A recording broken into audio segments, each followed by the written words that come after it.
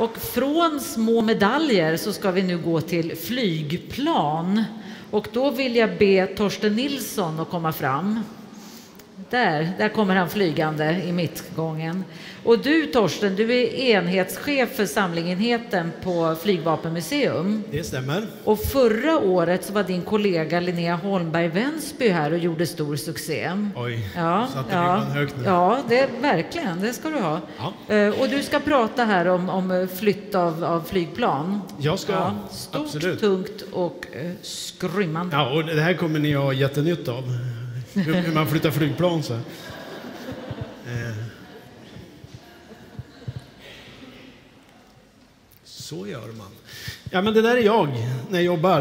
Eh, har en liten overall sådär och skriver böcker. Och, eh, ja, jag ska berätta om en flygplansflytt som vi har gjort. Eh, det är inga miljoner föremål nu utan det är 35 stycken luftfarkoster och hur man flyttar sånt. Eh, och egentligen är väl nästa bild är väl ja, det enda ni behöver lägga på minnet. Planering, planering, planering och så lite planering. Eh, och lite ännu mer planering. Eh, sen kan ni göra en riskanalys också för människorna, för föremålen. Välj bra verktyg för uppgiften, en bra tidplan. Välj rätt team. Jag återkommer till det med teamet, för de var lite taskiga med mig. Det ska ni få höra mer om. Eh, kommunikation, intern, extern och eh, vem har rätt att ta vilka beslut? Ungefär det kommer de nästa åtta minuterna att handla om. Då. Men... Dö. Till höger. Så. Först måste ni få, få veta lite om Flygvapenmuseum också, vad det är för ett museum. Eh, vi är ett museum för hela familjen, så det här är besökare nummer 200 000 i fjol. Det här är våra samlingar. 120 000 foton, ungefär 100 000 föremål. Vi är inte riktigt säkra än. Det ska vi ta reda på. Det kommer att ta oss åtta år ungefär att lista ut det. Eh, vi har 241 flygplan, det vet jag exakt. Vi har 44 helikoptrar. Eh, det där är den senaste helikoptern vi tog in. Det är en helikopter 10. Ni ser att den är inte är fotograferad i Sverige heller, utan den är fotograferad i Afghanistan när svenska försvaret var där. Eh, det är väl kanske vårt mest värdefulla föremål också. Eh, på den öppna marknaden så får ni ge 350 miljoner för den ungefär. Vi fick två. Så om ni undrar var era skattepengar är så är mycket hos oss. Sju magasin. Och där kommer uppdraget. Krymp sju magasin till sex magasin. Flytta ihop flygplan och luftfarkoster från två magasin till ett. 240 flygplan. De ljusblå som ni ser lite utspridda, det är världsunika flygplan. De finns bara på en plats på hela jorden och det är hos oss. Eh, de som är feta där längst upp, de är sådana som vi har väldigt många av. Jag tänkte det när, vi fick se den där bilden av, av eh, skrivmaskiner. Eh, jag skulle vara rätt glad om vi hade 70 skrivmaskiner. Sådär.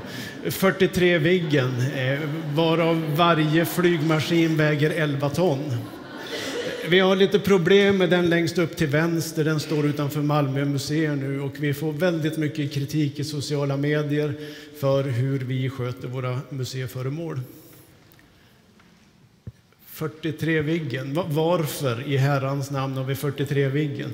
Ja, men ni kommer att inse att det är ganska bra egentligen att vi har dem och ingen annan. Eh, privatpersoner, ideella föreningar får inte äga stridsflygplan.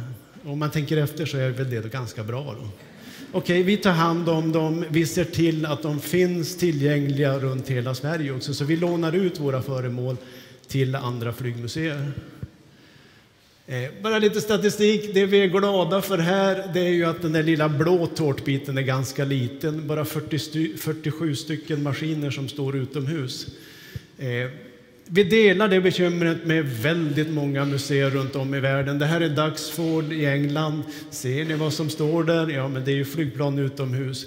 Eh, Det här är eh, Polish Aviation Museum. Ja, den är väldigt snygg, den där gatan längst upp där. Vet ni vad den, vad den heter? Den heter Mig Alley. väldigt många sovjetiska krigsflygplan. Eh, så där ser vårt museum ut. Vi har fyra stycken flygplan utomhus. Jag önskar att jag kunde säga att vi hade valt att just de fyra skulle stå utomhus, men det har vi inte. Eh, vi ska komma därhän någon gång att vi kan göra det, men det här är liksom inget så superbra sätt att bevara flygplan på. De, särskilt näsan på dem, längst fram blir de väldigt ja, skruttiga. Så här. Eh, vi jobbar på det, vi samarbetar till exempel med ideella krafter som hjälper oss att underhålla de här föremålen. Eh, nu kommer vi till det spännande då, och det ni ser, allt det här blåa, det är det som vi lånar ut till andra museer. De gröna, mörkgröna, det är våra utställda flygplan. Och sen finns det 33, men det ska vara 35 stycken som vi har i magasin. Och det är de som hela det här handlar om. Eh, man måste ha en bra hyresvärd, förstås. En som vill satsa lite pengar och hyra ut på lång sikt. Och vi har en sån. Eh, han har byggt ett hus åt oss. Vi har gjort en tidplan. Alltså tidplan var vikt, eller planering var viktigt. Vi har hållit på ett år att planera den här flytten. Planerat och planerat och planerat. Vi har gjort en plan för varje individ som skulle flyttas. Det var ju bara 35 stycken. Eh, vi har gjort en riskanalys som framförallt då handlar om människorna, de som ska jobba med det här. Hur ska vi se till att ingen klämmer sig, ingen kommer till skada på något vis. Och eh, det är också ett bra sätt att jobba med riskanalyser, för det gör att människor blir tryggare i det de ska göra själva. Ja, efter några månader så har hyresvärden byggt. Det är en alldeles tom hangar. Då tänker man wow, där får vi in mycket grejer. Eh, det här bilden handlar om rätt person på rätt plats. Eh, jag fick ju inte vara med och flytta flygplanen för att jag ansågs inte ha de kompetenserna som krävs för det. Alldeles riktigt beslut, men lite sur vart jag. Lite bitter är jag, men jag får leva med det. Eh, vi skulle genom tre staket, över ett dike, genom ett villakvarter. Vi skulle lägga omkull några lyktstolpar, andra saker som var i vägen, en busskur. Eh, och eh, ja, bredaste flygplanet är 11 meter, det är flygande tunnan. Så vi visste att vi måste ha en väg på 11 meter. Eh, lansen, om ni funderar på hur den ska flyttas, då, så delar man den i två delar. Och framkroppen ställer man på tvären på flaket så här, som ni ser. Eh, bakkroppen den funkar jättebra så där. Om ni nu ska flytta någon lansen någon gång. Jag vet inte. Eh, SK60 tog vi efter bogbil, bogserbil. Och eh, efter två veckor hade vi tömt det första magasinet. Eh, vi tog in väldigt mycket specialtransporter. Vi måste ha transportledare för att göra de här flyttarna. Och så började vi ställa in det.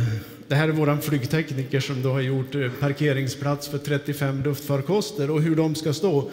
Eh, hur, hur tänker man då? då? Jo, men vi ställer, det som vi nog aldrig tror ska komma ut, det ställer vi längst in. Alltså kompaktförvaring med flygplan, det, jag vet inte hur man ska göra. Det är väl att trycka ihop dem då, som den där bilen vi såg eller något. Men, men om, vi, om vi inte är snälla med våra föremål så får vi väldigt mycket kritik för det. Eh, vi, vi skrotade en Viggen för några år sedan, en, en, eh, en prototyp. Och det slutade med att vår museichef var mordhotad och anmäld till till ditten och datten. Alltså vi lever med människor som bryr sig om våra föremål och då måste vi behandla dem med respekt. Eh, vi fick in alla. Vi jobbade väldigt mycket med information. Vår dumma, dumma informatör hon slu, slutade just då, så det var ju alla vi andra som fick göra det. Så det, det gick inte så där helt bra alltid.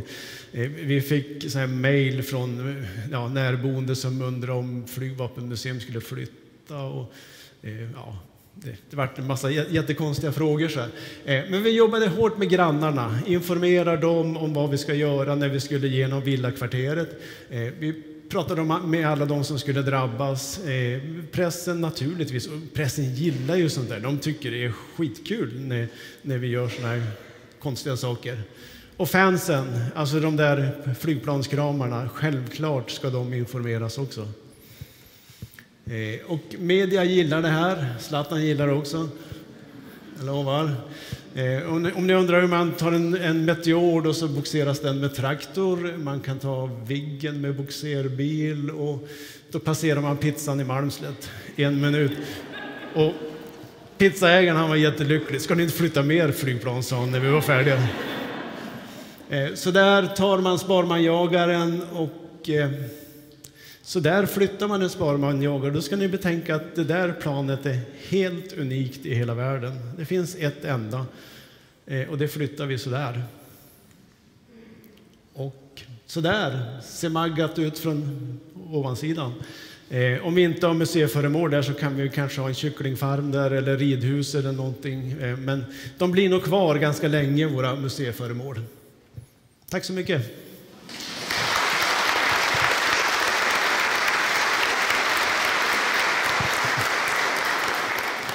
Jag ställer mig lite ovanför här för jag hörde att det kan bli rundgång. Fick jag. Ja, så det var därför jag tänkte att jag ska... Det sa du aldrig till mig. Nej, nej men nej. Jag, jag satt beredd där, men du klarade ju det alldeles galant måste jag säga.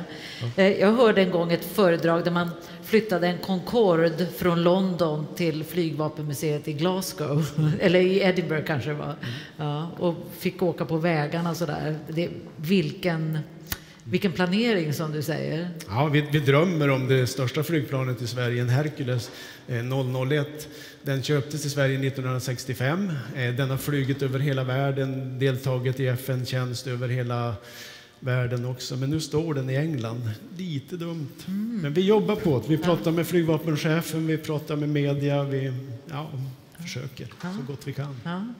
Eh, Volontärerna, är det gamla piloter och mekaniker och sådär som ni får? Helst inte piloter, de kan Nej. inte så mycket Nej. än att flyga. Eh, men, men, de som skruvar, ja. de, de, är bra. Ja, det är de vi eh, behöver. Ja. Ja, ja. Har vi några frågor här till Torsten? Ja, ja här borta har vi en fråga.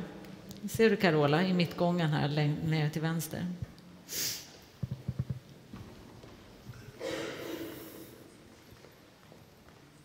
Hej. Behövde du vänta för en fin dag att fly till dem? Eller om det var regn, skulle du ha inställt den? Eller?